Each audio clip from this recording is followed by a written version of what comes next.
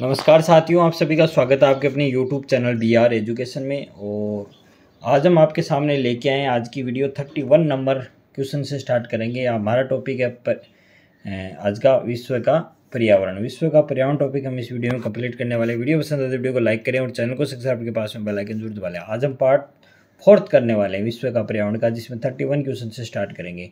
तो आइए आज की वीडियो शुरू करते हैं। ज़्यादा समय नहीं लेते हुए आपका।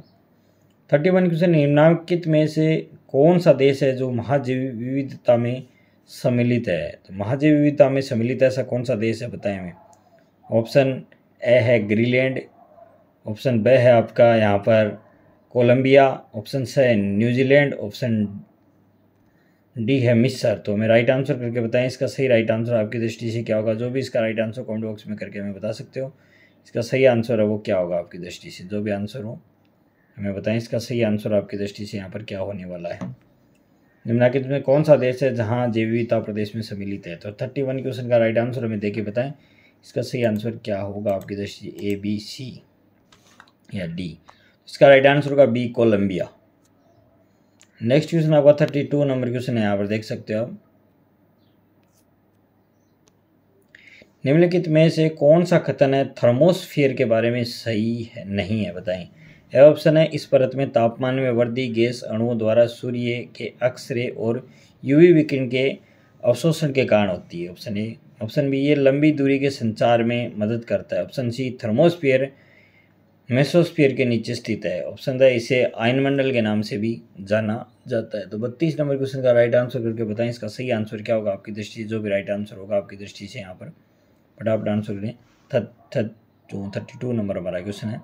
इस परत में तापमान में वृद्धि और गैस अणुओं के द्वारा सूर्य के अक्सरे और यूवी विकिरण के अवशेष के कारण होती है। ऑप्शन ए, ये लंबी दूरी के संचार में मदद करता है। ऑप्शन सी, थर्मोस्फियर मेसोफियर के नीचे स्थित है। ऑप्शन द है, इसे आयनमंडल के नाम से भी जाना जाता है।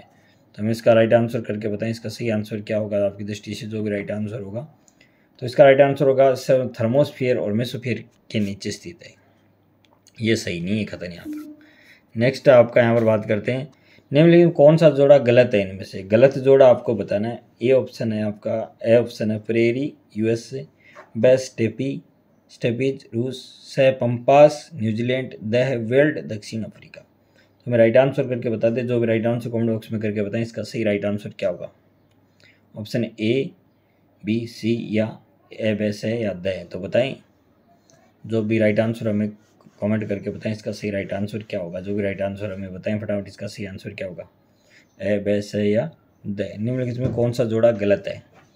तो ऑप्शन यहाँ पर राइट होगा आपका। शय से होगा पंपास, न्यूजीलैंड, ये ऑप्शन है, ये जोड़ा है, इस यहाँ पर गलत है। नेक्स्ट क्वेश्चन निम्नलिखित में से किन वनों को अक्सर पृथ्वी ग्रह के फेफड़ों के रूप में जाना जाता है? ऑप्शन ए है टुंड्रा वन ब टेगा वन से मानसूनी वन, द है अमेजन वर्षा वन। राइट आंसर करके बताएँ, जो भी राइट आंसर कमेंट बॉक्स में करके बता सकते हो। किन वनों को अक्सर पृथ्वी ग्रह के फेफड़ों के रूप में जाना जाता है? ऑप्शन ए है टुंड्रा वन, ब टेगा वन से मानसूनी वन, द है अमेजन वर्षा वन। तो राइट आंसर करके बताएँ, इसका सही आंसर क्या होगा? आपकी दृष्टि से जो भी यहाँ पर सही आंसर होगा, जो मैं राइट आंसर करके बता सकते हो, इसका सही आंसर क्या होगा? आपकी दृष्टि से जो भी राइट आंसर हो। बताएँ, सही आंसर क्या होने वाला है इसका? सही? फटाफट इसका राइट आंसर कर दें, जो भी आपकी दृष्टि से यहाँ पर सही आंसर होगा। थर्टी फोर नंबर क्वेश्चन में। तो इसका राइट आंसर होगा ऑप्शन द अमेजन वर्षा वन। नेक्स्ट है आपका, मई उन्नीस सौ चौरानवे में आपदा प्रबंध विश्व संगी में आयोजित हुई। ऑप्शन ए है योको हमा जापान बी है Rio de Janeiro Brazil C Copenhagen Denmark D है जेन्सबर्ग, दक्षिणी अफ्रीका। तो राइट आंसर करके बताएँ थर्टी फाइव नंबर क्वेश्चन का right answer option A A B C या द मई उन्नीस सौ चौरानवे आपदा प्रबंध पर विश्व संघी में आयोजित हुई थी। बताओ कहाँ पर हुई थी? योकोमा जापान में, रियो डी जेनेरियो, ब्राज़ील में और कोपेन कोपेन हेगेन डेनमार्क में। द है आपका जोहन्सबर्ग, दक्षिण अफ्रीका में। तो इसका राइट आंसर जो भी हो। आंसर दें मैं फटाफट इसका सही सजेशन करके बताएँ, इसका सही आंसर क्या होगा, आपकी दृष्टि से जो भी यहाँ पर राइट आंसर होगा, हमें आंसर दे दें, इसका सही आंसर आपकी दृष्टि से क्या होने वाला है। जो भी सही आंसर हो, फटाफट आंसर कर सकते हो इसका। थर्टी फाइव नंबर क्वेश्चन है, इसका राइट आंसर होगा यहाँ पर ऑप्शन ए योकोहामा जापान में। नेक्स्ट क्वेश्चन आपका, निम्नलिखित ऊर्जा संसाधनों में से कौन सा एक नवीकरणीय प्रकृति का है? ऑप्शन ए है पवन, ब पेट्रोल, सी डीजल, ड है कोयला। तो राइट आंसर करके बताएँ, निम्नलिखित ऊर्जा संसाधनों में से कौन सा एक नवीकरणीय प्रकृति का है? तो बताएँ, ऑप्शन ए पवन, ब पेट्रोल, सी डीजल द है कोयला। तो मैं राइट आंसर दें, इसका सही राइट आंसर करके बताएँ, जो भी आपकी दृष्टि से यहाँ पर सही आंसर होगा आपकी दृष्टि ऊर्जा संसाधनों में से कौन सा एक नवीकरणीय प्रकृति का है? तो क्या होगा? थर्टी सिक्स नंबर क्वेश्चन का राइट आंसर हमें दे के बता सकते हैं। इसका सही आंसर है वो क्या होगा? आपकी दृष्टि से जो भी राइट आंसर है। राइट आंसर करके बताएँ, जो भी आपकी दृष्टि से सही हो। तो इसका राइट आंसर होगा ऑप्शन ए पवन।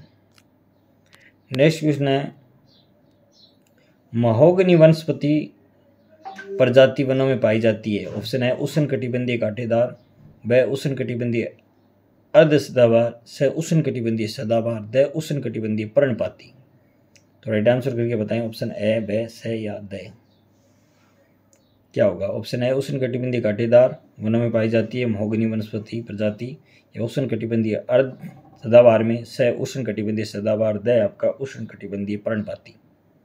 तो बताएँ इसका थर्टी सेवन नंबर क्वेश्चन का राइट आंसर क्या होगा? आपकी दृष्टि से जो राइट आंसर हो, में कमेंट करके इसका सही आंसर बताएँ। तो थर्टी सेवन नंबर है, इसका राइट आंसर होगा आपका यहाँ पर बात करते हैं फटाफट इसका राइट आंसर आपको बता देते हैं। उष्ण कटिबंधीय सदाबहार छः ऑप्शन राइट जी नेक्स्ट आपका thirty eight number question I U C N संकेताक्षर के लिए प्रयुक्त होता है। Indian Union for conserving nature वह ऑप्शन है International Union for Conservation of Nature C option है International Unit for conserving nature और D option Indian Unit for Conservation of Nature. तो हमें थर्टी एट नंबर क्वेश्चन का right answer करके बताएँ जो भी इसका सही आंसर होगा आपकी दृष्टि से। तो बता दें जो भी राइट आंसर होगा इसका सही आप, आपकी दृष्टि से। तो इसका राइट आंसर होगा ऑप्शन बता देते हैं इसका right answer option B International Union for Conservation of Nature अगला थर्टी नाइन नंबर क्वेश्चन है इस वीडियो का। निम्नलिखित में से कौन सा एक ओजोन परत के क्षण हेतु उत्तरदायी नहीं है? ऑप्शन है सी एफ़ सी ए ब हेलोन्स से मिथाइल क्लो क्लोरोफार्म द हाइड्रोक्लोरिक अमल तो मेरा राइट आंसर दें, कौन सा एक ओजोन परत के क्षण हेतु उत्तरदायी नहीं है? ऑप्शन ए ब से या द जो भी राइट आंसर हमें बताएँ ए सी F C B halons C methyl chloroform D hydro hydrochloric अमल। तो right answer thirty nine number question का राइट आंसर हमें करके बताएँ। इसका राइट आंसर होगा द ऑप्शन हाइड्रोक्लोरिक अमल। नेक्स्ट आपका फोर्टी नंबर क्वेश्चन है यहाँ पर। क्योटो प्रोटोकॉल प्रत्यक्ष रूप से संबंधित है। ग्रीन हाउस गैसों के उत्सर्जन में कमी से व ओजोन परत के संरक्षण से स अमल वर्षा को रोकने से द सतत विकास से। तो हमें इसका राइट आंसर करके बताएँ। क्योटो प्रोटोकॉल प्रत्यक्ष रूप से संबंधित है। किससे है? ब से या है तो फोर्टी नंबर क्वेश्चन का राइट आंसर करके मैं बताएँ इसका सही आंसर आपकी दृष्टि से क्या होगा? जो भी राइट आंसर हो, हमें इसका आंसर सजेशन में कर सकते हो आपकी दृष्टि से।